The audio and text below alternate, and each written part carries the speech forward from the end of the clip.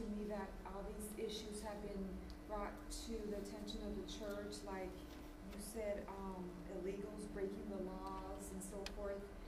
Um, but what about, I mean, Russell Pearce, he has, you know, he was, um, I'm not sure if he was prosecuted for domestic violence. I mean, that's, that's, I don't know, that's a, that's a misdemeanor right there.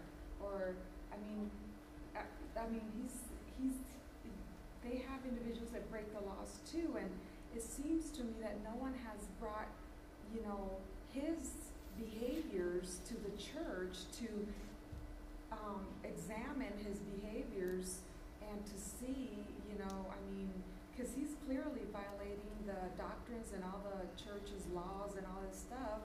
Has, has the church even assessed his behaviors and, I mean, he was, he, he did, he was in the newspapers in terms of hitting his wife, I mean, that's a, that, that's.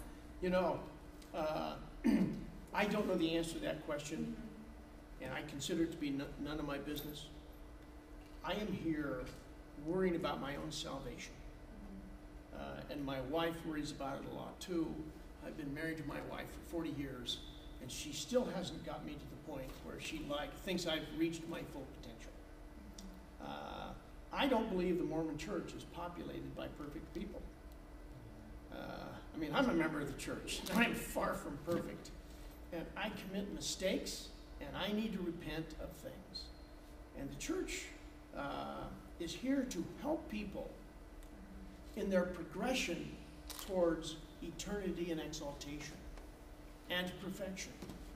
Uh, the Savior felt the same way. You know, the, the woman caught in adultery that uh, the Pharisees wanted the Savior to stone. What did he do? He said, he said, He of you is without sin, let him cast the first stone. And then he knelt down and he drew in the sand. And then he stood up and he asked the lady, Where are your accusers? And they'd all slunk away because they weren't without sin. And then he says, Well, neither do I condemn, condemn thee. Go thy way and sin no more. So I don't condemn Russell Pearce for domestic issues. I don't know about those. Uh, I don't condemn him for anything in particular. I'm just saying that I think one of the things that we ought to do as Christians is we ought to uh, be considerate of our brothers and sisters, and that we ought to work with people uh, who need to be worked with. I can't tell you how many people I've talked to in the church when they find out that I'm a proponent of having uh, free transit of the border based upon uh, just a simple check, uh, and that I don't believe we have to spend billions and billions and billions of dollars building a fence. Uh, they are shocked by that. But if I talk to them for a little while, they'll understand that I have a rationale for my beliefs. And so, do I want to cast stones at Russell Pearce? No, I'm one of those guys standing around in a circle when the Savior says, "Let he who has the first has without sin cast the first stone."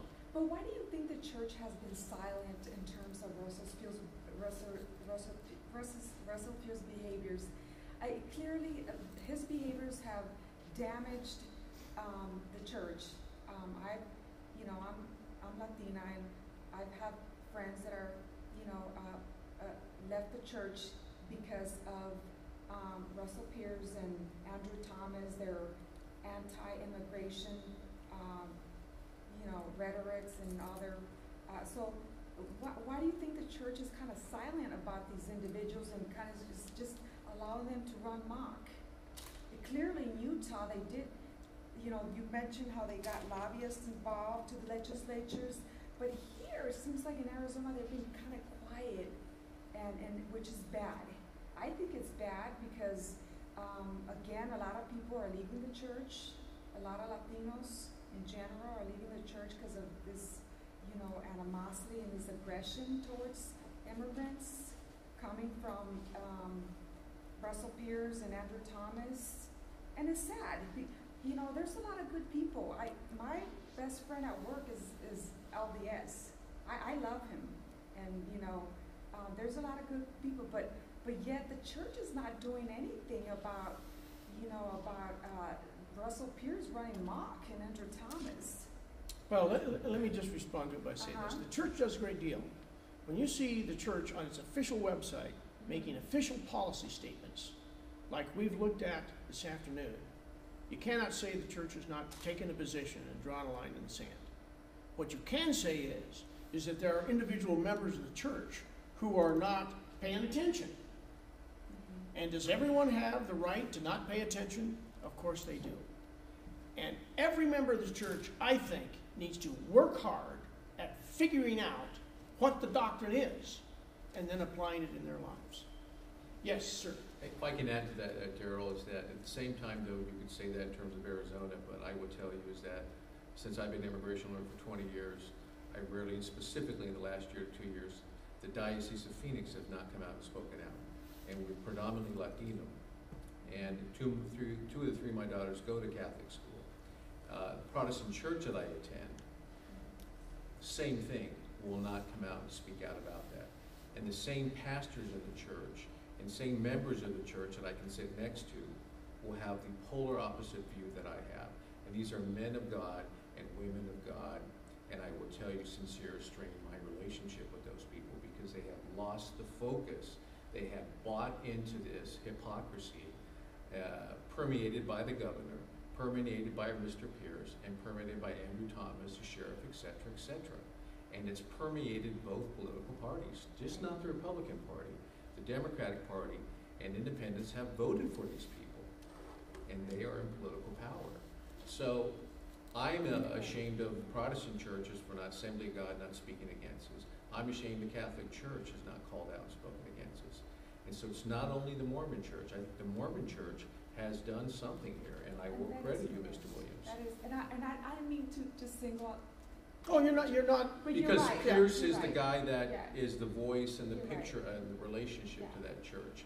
And for that matter, Sheriff Arpaio, he attends Catholic church. Right, right, and, and the, and yet the Pope, and I told Dee Dee this, I don't see the Pope coming forward, you guys need to stop this, this is abuse, you're, you're I playing agree. with children, with babies, this is dehumanizing.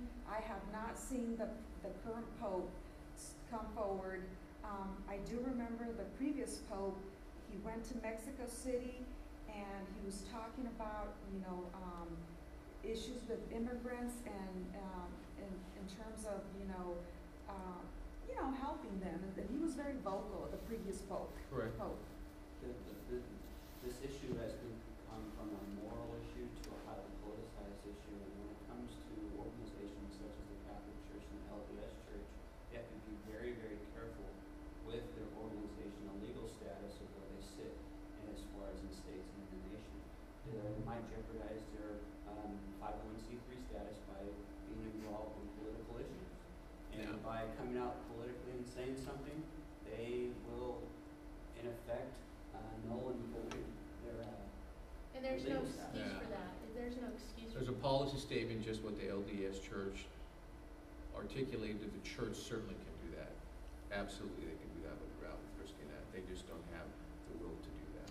well, the, the LDS Church policy statement, if you read it, is very carefully framed to be a general statement and to not get enmeshed in specific legal, excuse me, political activities. Right, If the church came down here and campaigned against Russell Pearce, different.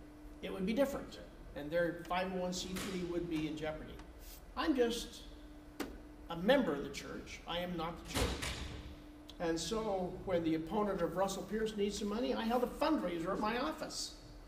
Well, I'm engaged in political activities when I do that. I gave him the maximum I could because I find Mr. Pearce anathema to my moral construct and my paradigm for life. And I think there's a lot of Mormons who feel that way. Uh, I'm hoping that the Mormons in Legislative District 18 next week take it to the ballot box and throw him out. That's what I'm in favor of because I don't like his moral construct. Yes, sir. Uh, Changing the, looking at uh, your presentation, listening to that, and the same comment that was excellent, uh, both from a legal and moral uh, position. But I, I believe that part of the presentation, and also for the Arizona uh, Employer for Immigration Reform, has to come from the perspective that, and it seems to me that it's all Latino-based and Mexico-based. And I would tell you is that that is half of the story. The other half of the story is, and I think what Americans and business and, and people can, can hook onto is the individuals that come here from other countries lawfully with a visa and overstay here. And they go to school, they get careers, and the way they convert their status is they get married.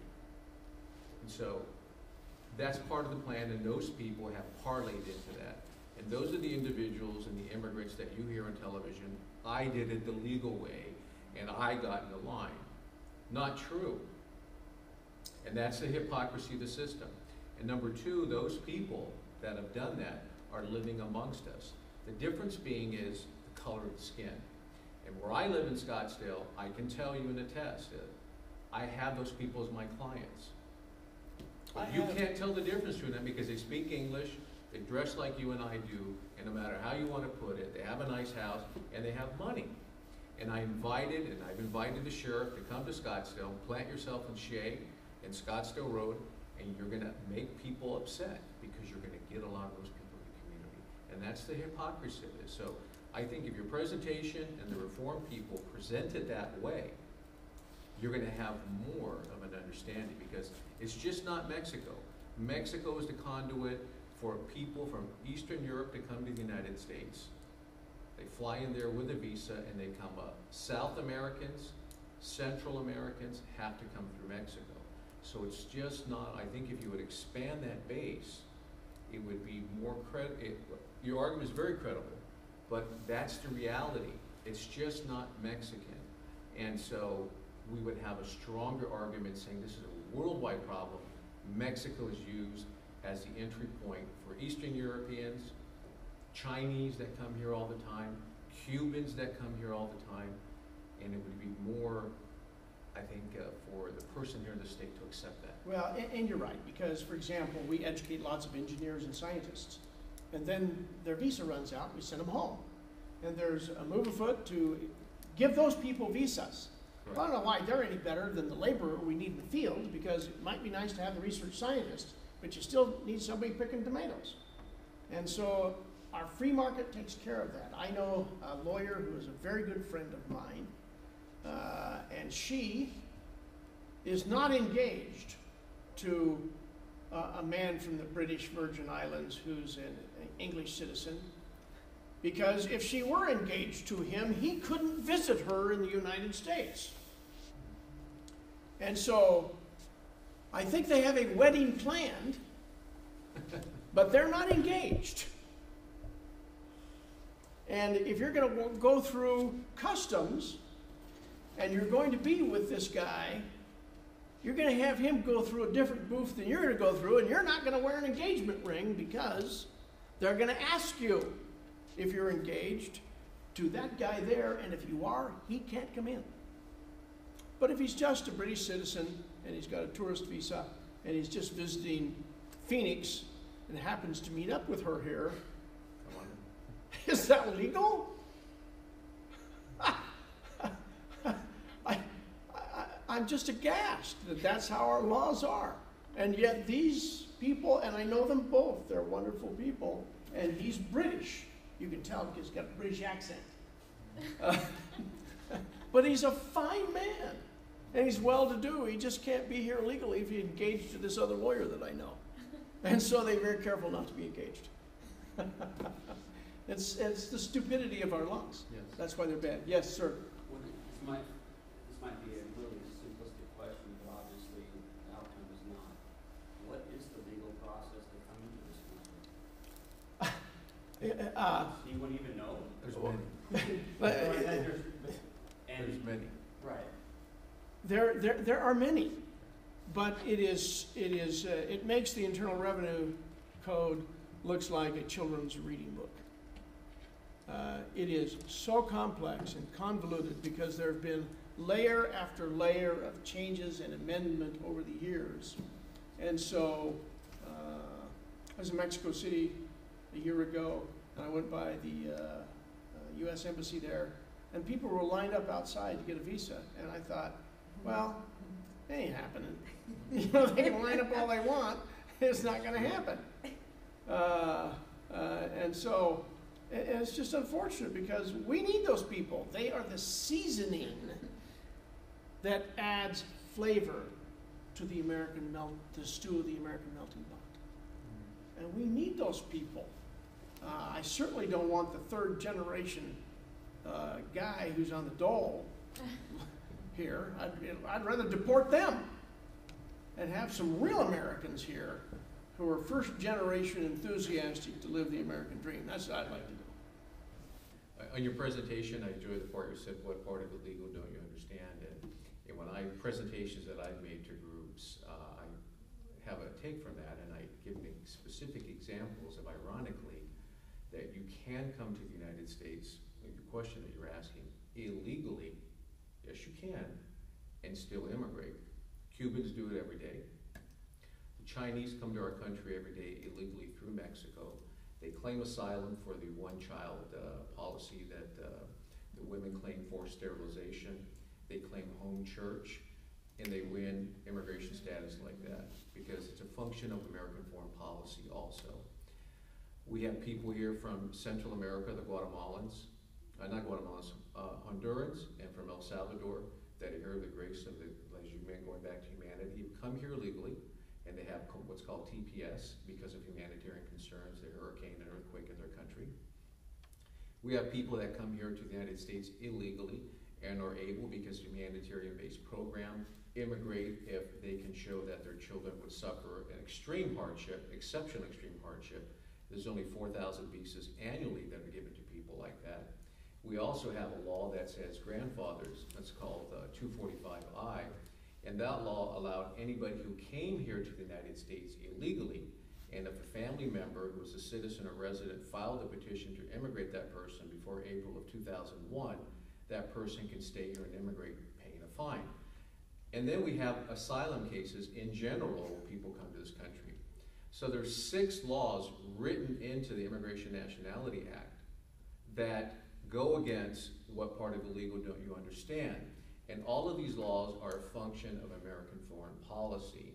And these laws are the same laws that have written by J.D. Hayworth, Senator McCain, Senator Kyl, Congressman Flake, et cetera, et cetera, et cetera. And that's the height of the hypocrisy about all this. Yeah, it, it is, it is truly unfortunate. I know a lawyer, uh, who worked for years and years on someone who wanted to stay here because she, if she went back to, back to Central America, she would be killed because she had ratted on some drug lords and stuff down there.